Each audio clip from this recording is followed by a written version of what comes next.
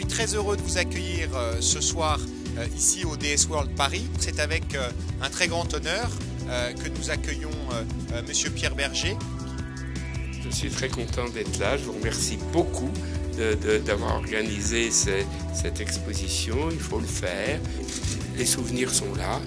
C'est la merveille de la photo, comme la merveille du cinéma. Les choses sont là, on peut les revoir.